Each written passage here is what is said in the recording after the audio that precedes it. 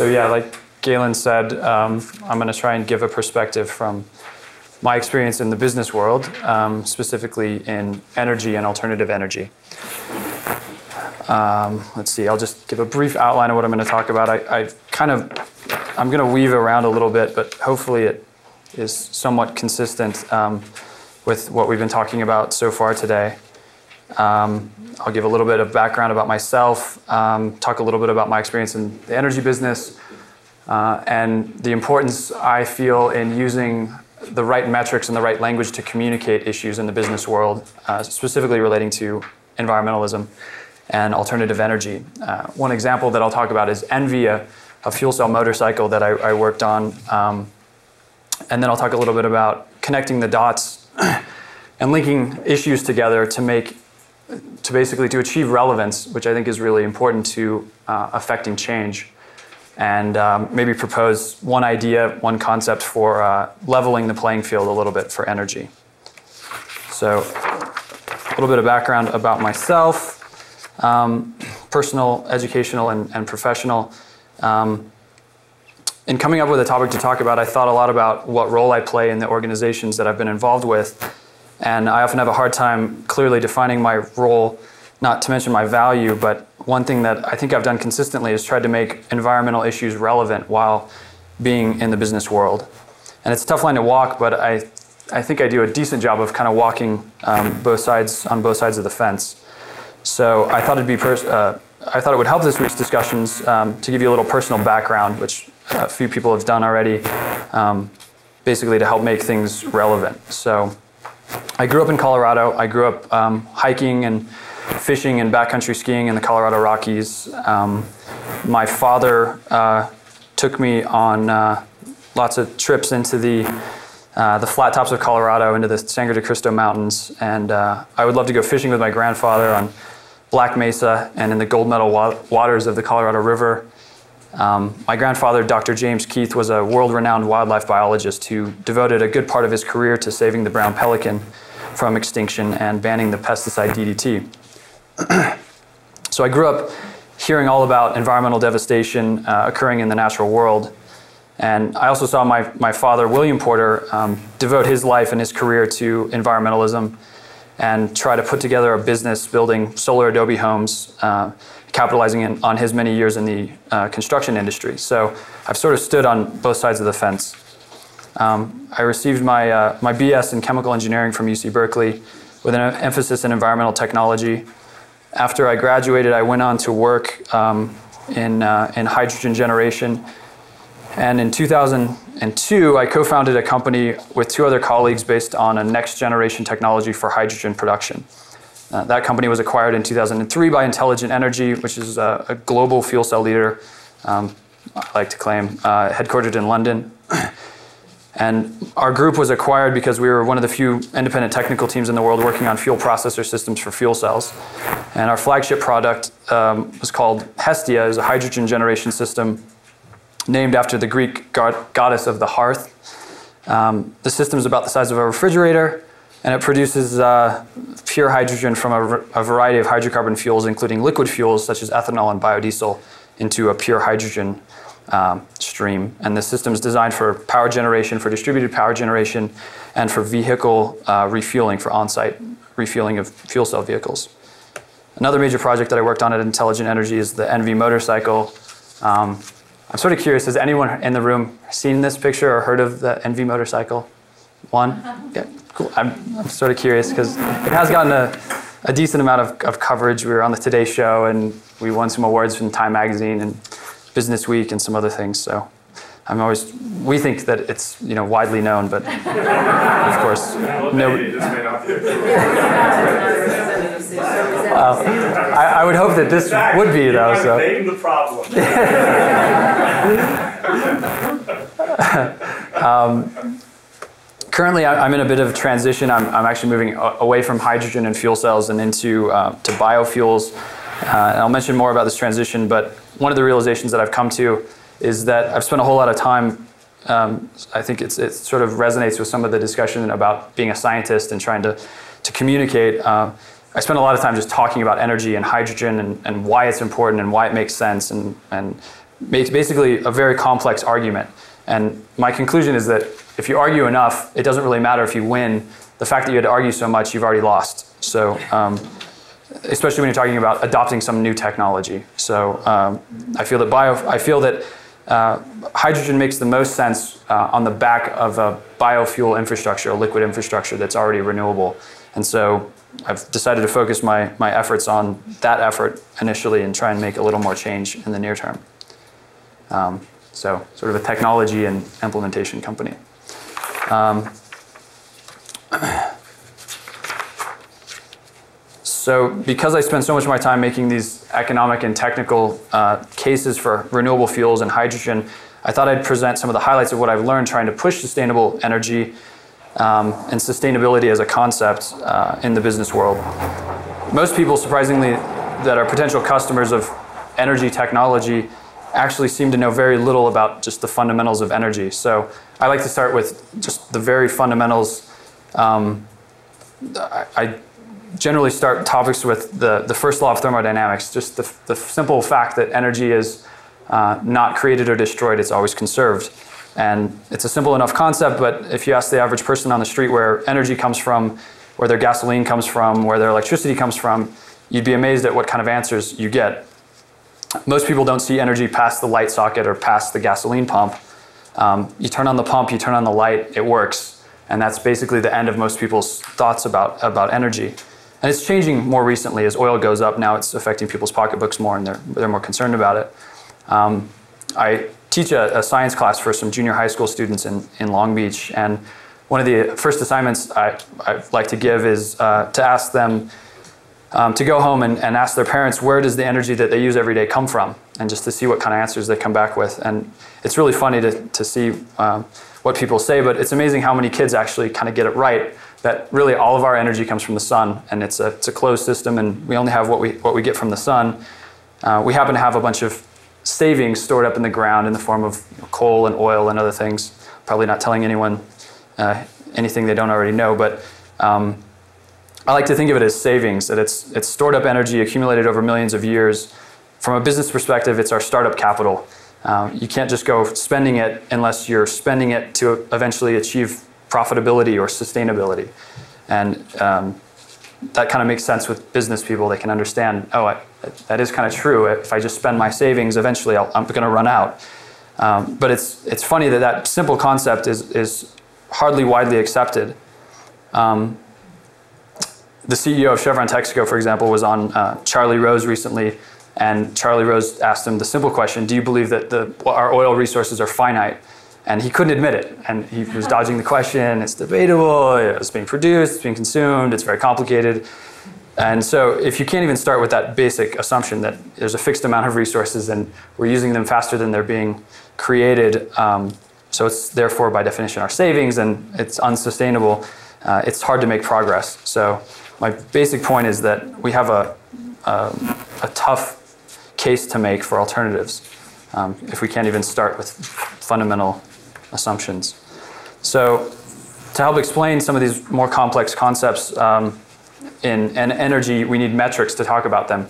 And I think it's really important what metrics we use when we're communicating because uh, it, makes a big difference, I think. Um, it's sort of like the, the, use of metaphor. I think it, it can impact the, uh, um, the interpretation of the information tremendously. So, some new things you see now in, in cars, they put miles per gallon on the display. It tells you how, how, what miles per gallon you're getting. In hybrids, there's a, a, full graphical display that says, you know, your efficiency pattern over the last, you know, few, however many miles.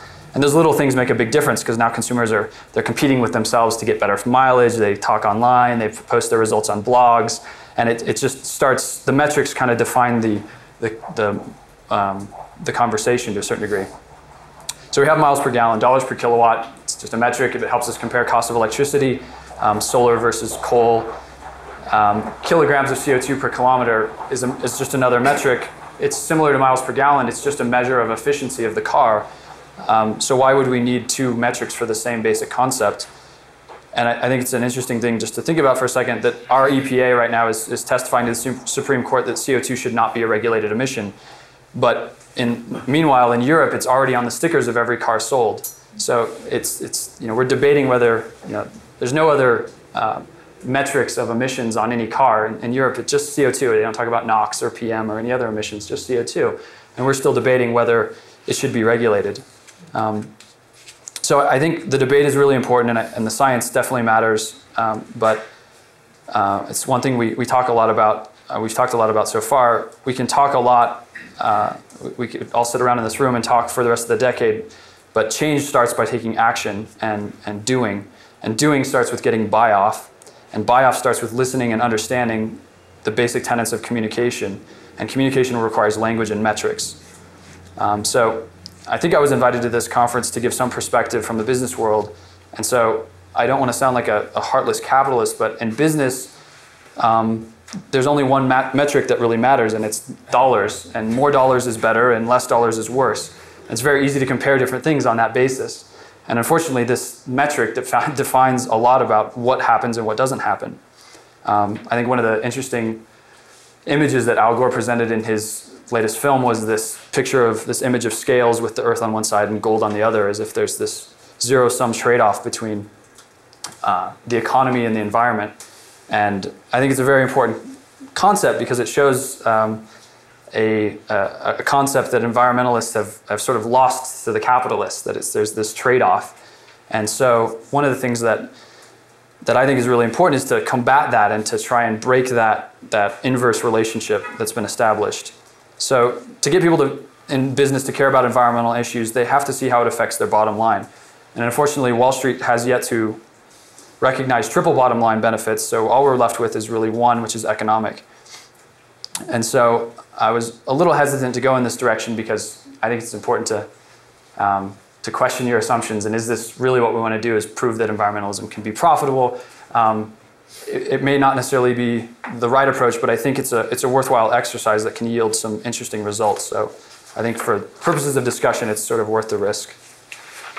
So a direct example of how I've tried to use metrics creatively to sell something that I think is a net positive for the environment and a triple win on a triple bottom line basis is um, this product, the ENVI uh, motorcycle. ENVI stands for Emissions Neutral Vehicle, um, and it was a it was a product project that uh, Intelligent Energy um, wanted to do to showcase the benefits of their fuel cell technology. And so um, I was lucky enough to be a part of this this uh, project team from the inception of the the concept. And um, when we sat down and started thinking about this, we said, well, conventional thinking would suggest that to build a fuel cell motorcycle, you just take a regular motorcycle. There's lots that are built, and you take the engine out and you put a fuel cell in. And if we had done this, we had, would have had to compete head to head with technology that's been around for 100 years and had the benefits of extreme mass manufacturing. And there's basically no way you can win on a cost basis or even a durability basis with this approach. So you know you, you can see that on a cost basis, it's, it's, we're nowhere close. So we asked, well, what else do we have with a fuel cell that a gasoline engine doesn't have? And one thing that we have is useful DC electricity. And so we wanted to highlight this difference by making the core of the bike, the fuel cell power generator, which sits right about there, removable. And so this allows us to remove the fuel cell and you can use it for something else useful. You could power a laptop, you can provide backup power for your house, um, you could use power remote telemetry equipment, something like that. So essentially, we tried to avoid a direct comparison by using different metrics and change the value pitch. So one analogy is the iPod, which is an example of that this change in metrics has sort of succeeded. When people first heard of Steve Jobs selling a musical player for $500, uh, when CD players were $50, I think a lot of people thought he was nuts. Why would someone pay so much more just to have more songs? It's not like there's a lot of consumers out there that are complaining, I just don't have enough songs in my CD player. Um, but what he did is he came up with a whole new way of delivering music, not just listening to music. And he created it in such a way that it was a sleek fashion statement that appealed to sort of basic human nature. And he delivered a, a comprehensive music solution, not just a, a, simple product. So that's kind of what we try to do with, with this is deliver a transportation solution by coupling this bike to our hydrogen generator. Um, so you can see on a direct comparison, it, it wouldn't make much sense to, to try and um, to try and sell this. For one, the engine costs way more per kilowatt. So if you wanted to compare two engines with the same power, ours would be way more expensive. Durability isn't as good. hydrogen's more than three times more expensive, so the fuel's more expensive. People are already complaining about fuel costs at $3 a gallon. Uh, it's a tough sell.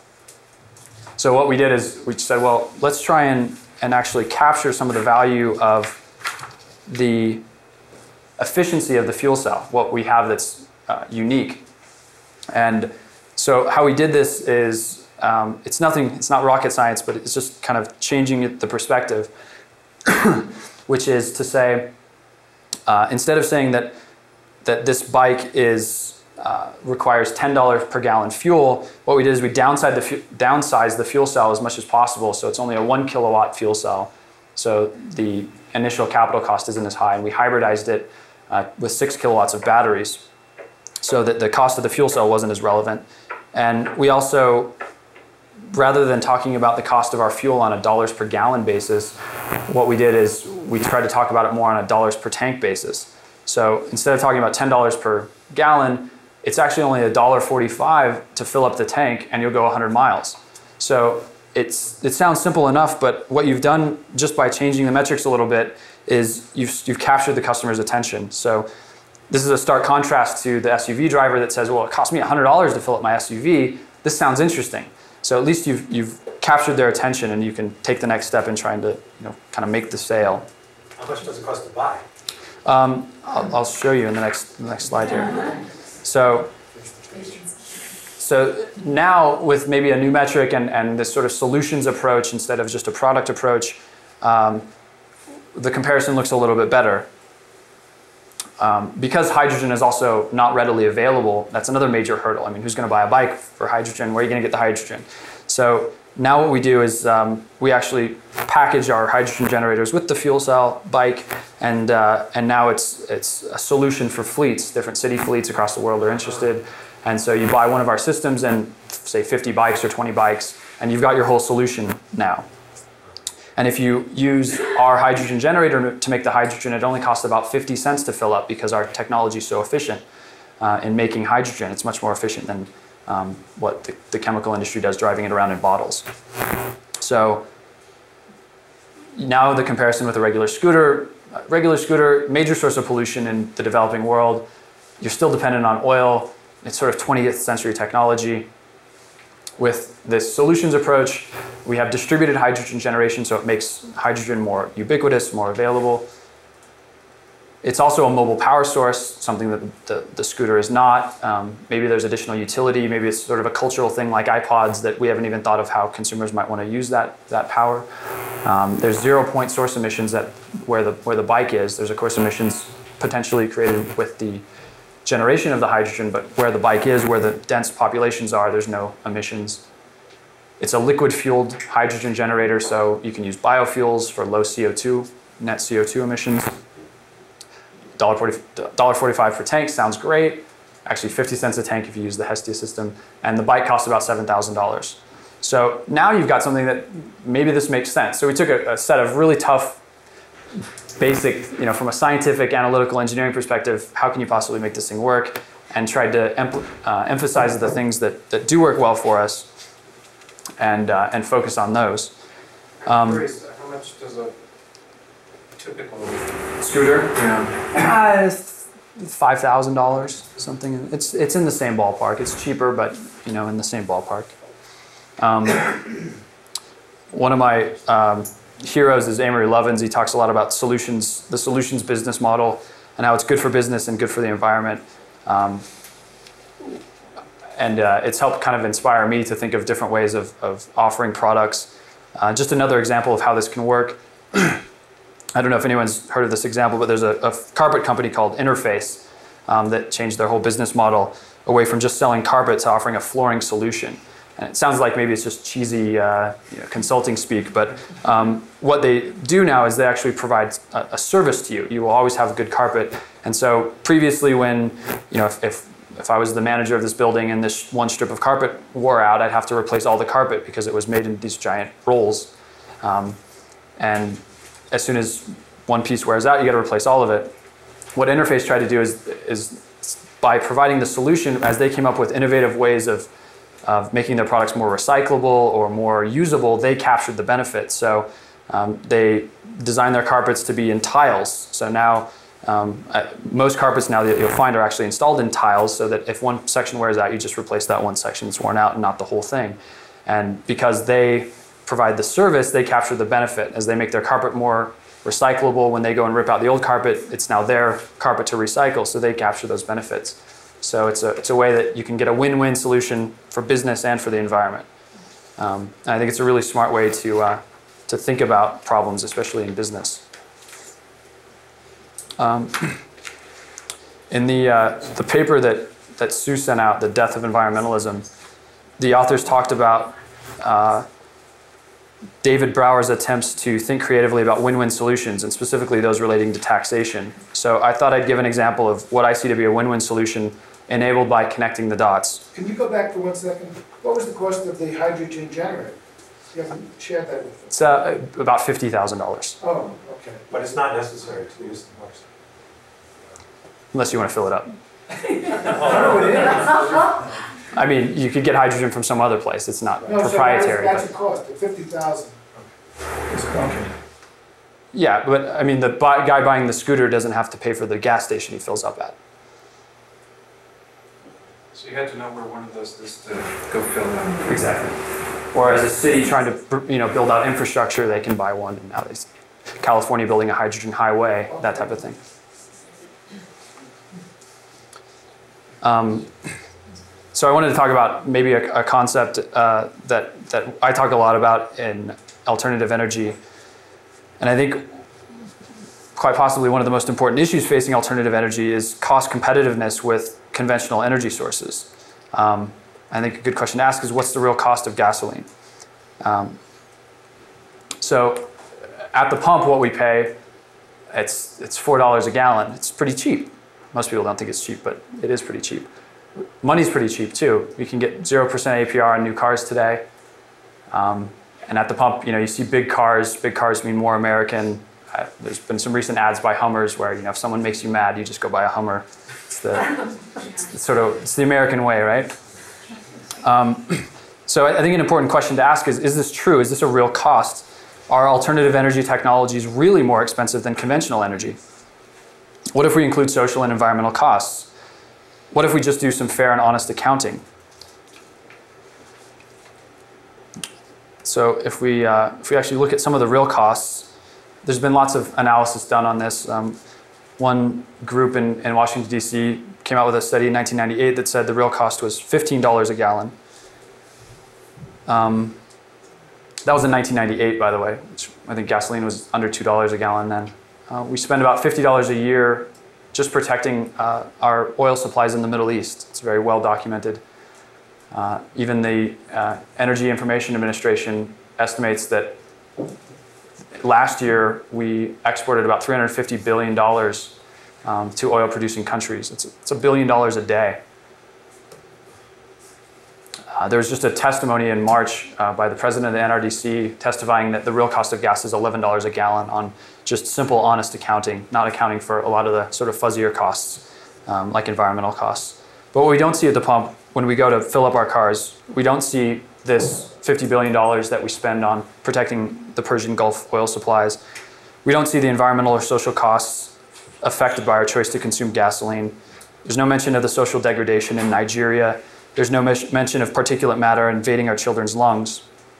So I think it's a really important thing to talk about. And if you can make a connection, which is really hard, but once you make that connection, then you can, excuse me, you can propose a change.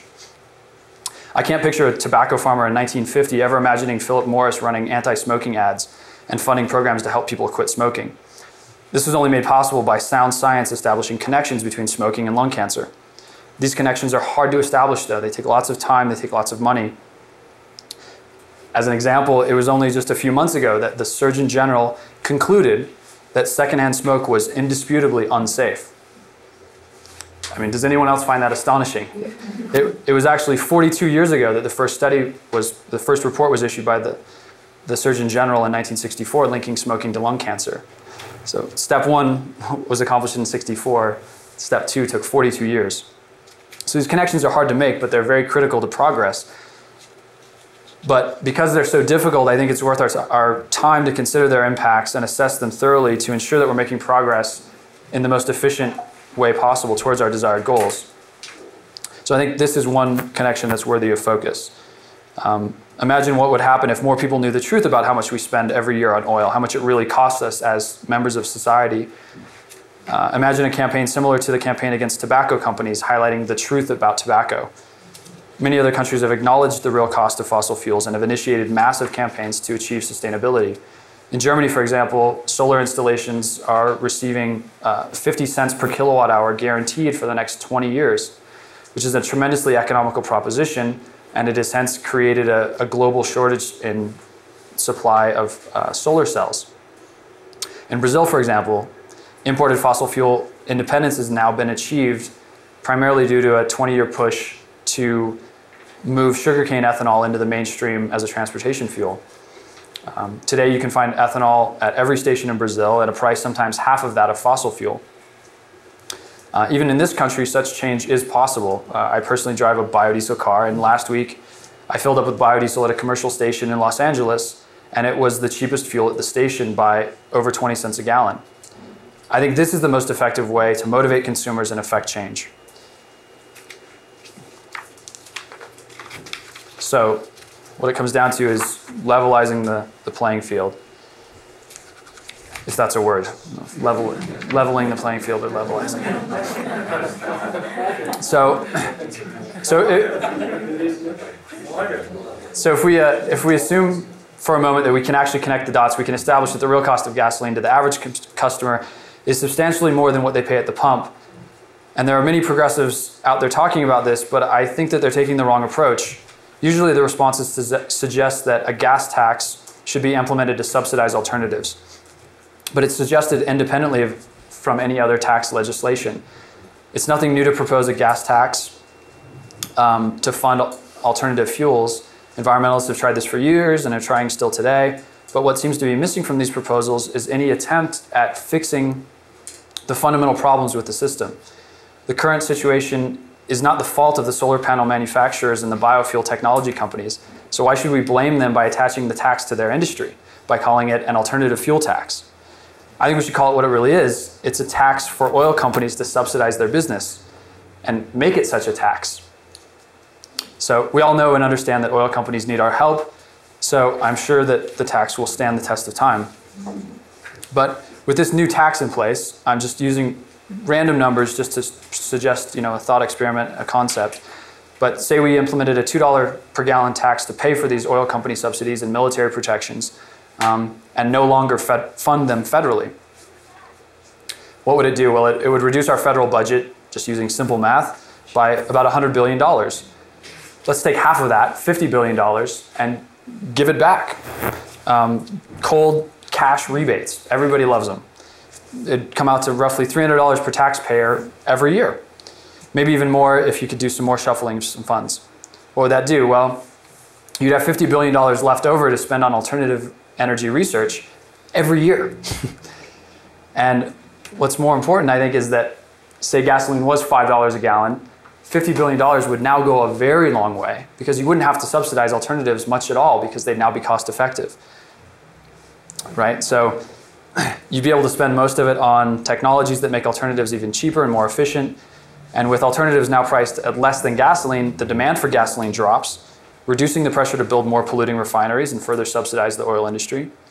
It also drives the market towards innovative new products specifically tailored for, tailored for alternative energy, which just further drives the cycle. So it might be a crazy concept, but all I'm really um, suggesting is that we start accounting for externalities and account for these external costs where they belong and let the market figure it out so that any lover of the free market can actually appreciate and buy into this concept. Uh, I think it's the only way that the goals of the environmental movement and the goals of business can truly and honestly become aligned. Uh, just another quick example um, the same logic can be applied to the nuclear power industry. Um, a lot of people, there's a new renewed push for nuclear power because there's low CO2 emissions, so it's a chance for the industry to become revived. Uh, I say make them pay for their own terrorism insurance. It's a simple concept, but they're a business, they should pay for their own insurance. I bet if we implemented that policy, we would never see another plant built in this country. Why should I pay for a nuke plant's insurance as a taxpayer? Nobody's subsidizing the insurance I have to pay for my biodiesel production facility. seems fair to me. So, in conclusion, um, I think we all talk about how high the stakes are, and I think that's a great quote. Uh, we start, have to start thinking outside of the box and coming up with new solutions. Um, but I don't want to sound uh, end on a, on a down note. I don't want it to, to sound kind of doom and gloom that because the stakes are so high. I actually do think that we're at a tipping point. Um, there are lots of people in alternative energy that are succeeding. There's lots of stories of success. Uh, there's lots of money being poured into alternative energy. Bill Gates is investing heavily.